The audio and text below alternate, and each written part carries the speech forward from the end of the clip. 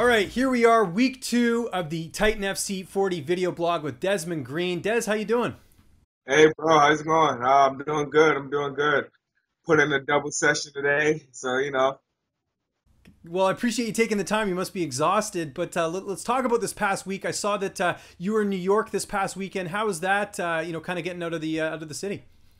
Oh, it was fun, man. It was dope. Uh, I got to go down and see my daughter. Um, you know, she's uh, you know, she lives in the Bronx. My oldest daughter, and then my other two live here with me and um, my girlfriend now. So uh, it was great, great, great to see her. She's going to a summer camp, so uh, you know, I went to see her off. Uh, if you follow me on my social media, you know I was I was teaching her how to ride bikes, so uh, she she finally got the hang of going without the training wheel. So uh, it was a fun time, fun time. And, and was it was it good, you know, to kind of just get out of Florida as well, you know, kind of recharge the batteries a little bit, getting out of your environment? Did did you find that at all? Oh yeah, definitely. Um, so you know, I had left like Friday, and I just came back uh, last night. So I had like three, four days off from the gym. You know, uh, I gave my body a break, no training, and uh, you know, today I just came in. I felt so refreshed. We had sparring today, it was uh, it was great. You know what I mean? It, it was like I was I was kind of almost itching to get back in there. I'm like, ah, you know, fights coming out, uh, breaks over. You know, so it did my body good, gave me a mental break, and uh, you know, now I'm ready to put in these last uh, two and a half weeks hard. So well, and, and I'm sure part of the reason for that is, uh, you know, seeing your teammates uh, do so well last week. I was actually in uh, Vegas as well. I, I, wasn't in Toronto. Um, I was uh, covering the fights, and uh, I got to meet uh, two of your teammates there, Vicente and, and, Gilbert Burns, both coming away with victories. Um, did you watch the fights at all this past weekend? Oh yeah, I was glued to my TV um, for both their fights, and I was was so happy. And like you said, it, just the energy, like I was feeding it to through the. T- our, our whole team was, and just to see them go, you know, go and do such a great job, you know, two finishes you know, it's encouraging to me. I'm like, these are guys I go with every day. You know, we're pushing each other every day. You know what I mean? They, he goes out there, they both just kill their guys. It's just like, you know, it kind of, in perspective, puts, you know, where I'm at in my career and just reminds me that, you know, I got a, I got the best guys training with me in the world. So, you know, I'm, I'm bound to get better. And, and aside from your teammates competing, was there a favorite fight you had over the, the three events this past weekend that you watched? Yeah, man, uh, Joanna, I love her. She's such an animal, man. She, I, I love the way she fights. She's so aggressive and just mean, and you know, she over she overcame some adversity. It's even better. You know what I mean? I was like, all right, yeah, she's a real champion. So I was, I was, I was happy about that fight. Yeah, I agree. That was definitely the best fight this past weekend, and and I knew I knew you liked Joanna because I saw when I posted that picture on Instagram of her with the title, you were like, "Oh man, that was awesome." So that that was yeah, cool to see. Um, those, sure. those, girls can bring it, man. For strawweights, that was uh, that was probably one of the best fights this weekend, um, if not the best fight. So. Yeah, you know what? These girl fights are interesting, man. The girl division is the you know the UFC's doing a great job at uh, you know getting the right fights, mixing up in there. You know they're becoming exciting, so uh, I'm, I'm happy for them.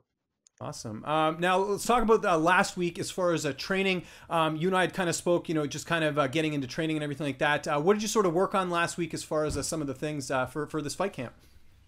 Um, really, so what really we've been working on, um, you know, fighting a heavier guy, right? You know, so he he's not gonna be as quick as me. Obviously, he's gonna be looking for those power shots. So you know, me and my coach has really been working on in and out movement.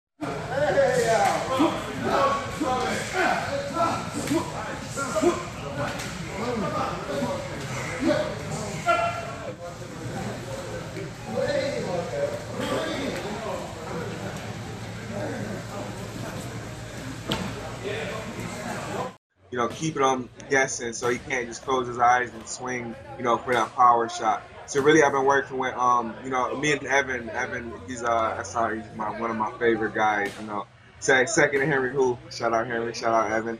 But no, me, me and Evan been working um on, you know, after I'm striking, getting out of range, in range, out of range. I dictate when I want to, um, you know, uh, exchange. So that's pretty much what we've been working on, just in and out and that's Evan Boris. I should mention, uh, who's who's actually from up here in Canada, so a little bit of a connection there here with uh, this interview as well. Um, now, as far as um, you know, this coming week, uh, what what are you sort of looking at as far as a game plan for training and everything? Um, this week, really, what it is is uh, I kind of want to grind it. You know, like uh, I gave my body a rest, right? So now I want to go hard, really push my lungs out this next week and a half, two weeks, really hard. Uh, lots of lots of sparring, um, lots of mitts and uh, get my cardio up. And then you know that last week just coast. So right now I'm kind of kind of in the thick of it. You know, I want to I want to hurt my body. You know, um, not not too much, but you know I want to work my lungs out every day and uh, you know just get ready for the grind. You know, just continually work on my stand up. Um, you know, this guy is uh, he likes to go in and grab. I don't really think he's too much of a wrestler, but I know he does like the body lock. So you know, just just brushing up on things here and there. I actually just spoke to your opponent about uh, maybe 10 minutes ago, five minutes ago, and did an interview with him. Great guy, really nice. Um, but uh, yeah. the one thing I found interesting was I asked him about you as an opponent, and he said he'd never heard of you. Do you believe him? Because I, I, don't know. That, that, to me, like you've been around the circuit for a while. It seems kind of odd that he wouldn't know who you were. Yeah, yeah, nah. It, two two things. Either he really doesn't know who I am, and that just proves that he's uh doesn't take the sport serious and uh, this fight serious, or you know he's trying to cover up and you know try to make me feel like you know I don't have such a buzz going on. But you know, like I said, I've been in Bellator, I've been a Titan champion, I've been overseas, I've been breaking headlines. So anybody in my weight class, you know, if you do your homework, you should be looking at who's the top prospects in your weight class, and you know I, my name rings a bell. So either way, I, I, hope he doesn't. So then when I knock him out, he'll feel like an asshole for not doing his research.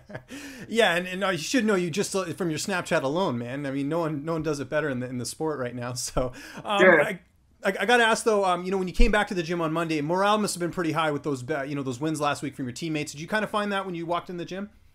Oh yeah, definitely. Um, you know, as soon as, soon as uh, so it's funny. I got there Tuesday, and you know, Gil, that was uh, Gilbert's first time coming in too. We haven't seen Vicente yet, but Gilbert, Gilbert's already been Gilbert's an animal. He's been in training. He's sparring with me today. But uh, you know, he came in, and everybody's like, "Oh, you know," we all stopped, clapped. Um, we're like a big family here. So you know we're giving we're giving him uh, big big props and big up. So you know it, it, you know like I said, everybody's feeding off of it. You know we see our guys. You know we're competition, friendly competition. If Gilbert goes out there and finishes them, so now I'm like, you know, he, he went to me and said, "Hey, it's your turn." So I'm like, "All right, now I got to turn it up. I got to follow my boy footsteps." Absolutely. All right. Uh, one thing I did want to talk to you about, just because I noticed it there on uh, on social media. Um, obviously, a, a, lot going on in the United States right now, uh, especially with the, the, Alton Sterling thing that happened. Uh, you know, obviously with the, the Dallas uh, police officers as well. I know you, you had some posts on there on social media. Um, just as someone who lives in the U.S. and you know has probably dealt with racism at some point in your in your life, um, how do you sort of uh, teach that to your kids as far as you know what's going on and, and how you're kind of relaying that? Man, it's so frustrating, like just with everything going on, and it's, it's just like time and time again, you know, this stuff been happening. Now, now that we have cell phones, you know, and the internet, you know, people are starting to, you know, kind of see it and, you know, kind of feel where we're coming from as being like a black man in America.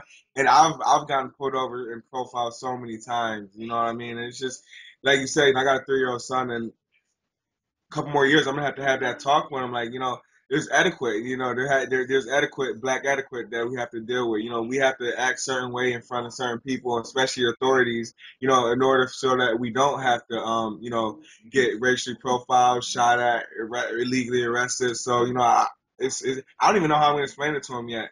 I'm just gonna have to tell him, hey, listen, you know what I mean? This is what it is. It's, it's literally black and white, literally. You know what I mean? It's here, and it's unfortunate, but you know, it's just it's just one of those things we got to deal with do you find that i mean because they're so young do you find that i guess sort of the most important thing is just setting a good example yourself uh, you know sort of how, you you know you deal with situations like this? Because i mean essentially they're looking up to you as, as a role model.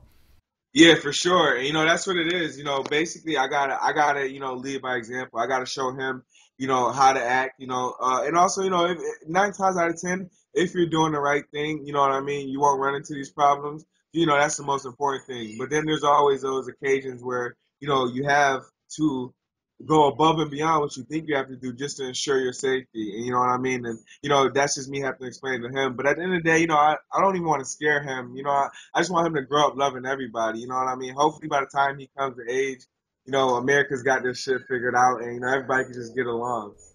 Well, I, am glad you, you, spoke your mind on the issue because uh, you know I know some people uh, they don't want to talk about it, but I, I think it's good that you're, you're, getting the message out there, and I, th- I thought that was really nice. Um, on a lighter note, probably the coolest thing I saw, uh, you know, kind of on your social media this this weekend. You're rocking the Anaheim Mighty Ducks jersey um, on the plane ride back. Uh, where'd you get that thing? Because it looked pretty damn cool.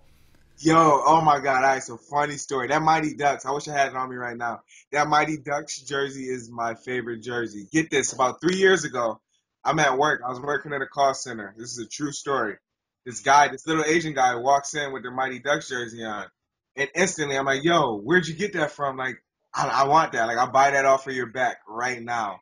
And he's like, seriously? He's like, give me forty dollars. I was like, yo, listen, I'm lunch. I will go to the bank, grab forty dollars, and buy that. And so I, I forty, I went on lunch, grabbed the forty, bought it off of him. He like put a T-shirt on for the day, And I was the happiest guy ever. And, you know what I mean? Everybody else asking, where'd you get that from? I'm like, I, I literally bought it off somebody's back. I don't know, but I seen it and I had to have it. It's, I watched that movie millions of times. Instant classic. Yeah, Charlie Conway, that was my guy, man. That was uh, that yeah. like grow, especially growing up in Canada where hockey's really big. It was it was like a huge uh, huge influence on on my life. So I thought that was uh, pretty cool. And you know, it's such a bummer. Like the hot, they had an NHL team called the Mighty Ducks, and then they changed it to the Ducks, and they got these dark jerseys now. I'm not a fan. They should have kept the Disney jerseys. I remember.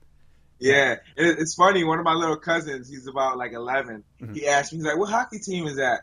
I'm like, oh, bro, you don't even know. This is this is better than any hockey team now. yeah, absolutely, absolutely. All right, Des, I'm gonna let you get out of here. I appreciate the time, like I said, uh, doing the double training session today and joining me here. Um, we'll be back at it next week. Uh, but where can people get a hold of you on social media and uh, any other thank yous or shout outs, man? The floor is yours. Yeah, cool. Um, social media, real active. Um, Instagram and Twitter, same thing. It's uh, Predator Toon, P R E D A T O R T O O N. I throw up a million posts a day. Uh, Snapchat, I'm real active on, is uh, Random Toon, R A N D O M Toon, T O O N. And then uh, Facebook, you can follow my fan page. Is uh, my name, Desmond the Predator Green. And uh, also my personal page, uh, I still got some room for friend requests left. It's uh, Toon Winning, T O O N, winning without the G.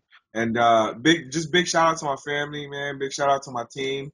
Uh, and you know, just looking forward to this fight. You know, everybody keep following on these blogs, and uh, you know, have fun.